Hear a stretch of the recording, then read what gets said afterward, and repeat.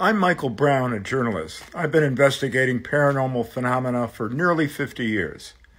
I'll be talking about a lot of the phenomena in future clips.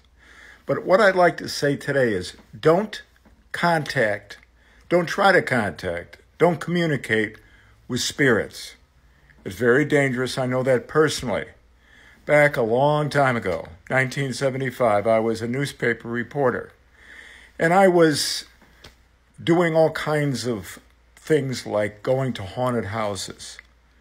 One of them was in Binghamton, New York. Went there, there were reports there of phenomena. Uh, and we went there with an associate professor at SUNY Binghamton, State University. I went there, the two of us, and we pulled out a Ouija board. And we're fooling around with this Ouija board, and it starts moving, and you know, there's all these messages from a dead person, so called.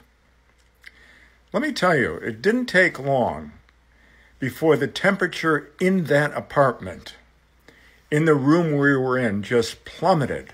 I mean, just went down by more than 20 degrees. I went over and looked at the thermostat, the thermometer.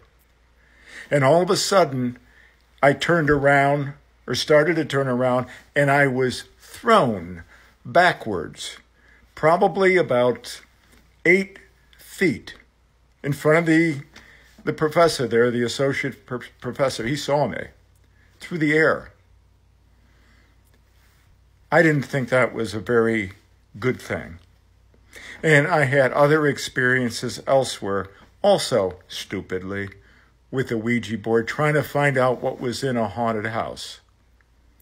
All it is and please heed this, is pure danger.